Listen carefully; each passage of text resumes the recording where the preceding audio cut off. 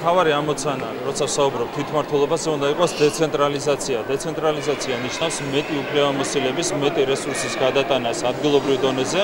ამისათვის შემოშავდება სტრატეგია და ამ სტრატეგიის საფუძველზე განხორციელდება საქართველოს დეცენტრალიზაციის რეფორმა. რაც შეეხება 7 ერთეულის შერწყმას, ეს ბუნებრივია ნეგატიურად ვერ აისახება ადგილობრივი თვითმმართველობის მდგომარეობას საქართველოში, უფრო მეტიც, უფრო სწორი სახით ჩამოყალიბდება სისტემა და შესაბამისად მეტი რესურსი გაჩნდება იმისათვის, რომ სათანადო წარიმართოს დეცენტრალიზაციის პროცესი. კიდევ ერთხელ ეს არის პოზიტიური მოვლენა, 7 ერთეულის შერწყმა თავის დროზე არასწორი ნაბიჯი გადაიდგა ამ კუთხით და ეს ხარვესი სწორდება დღეს იმ სრულებით, რომელიც შედის განმავლობაში.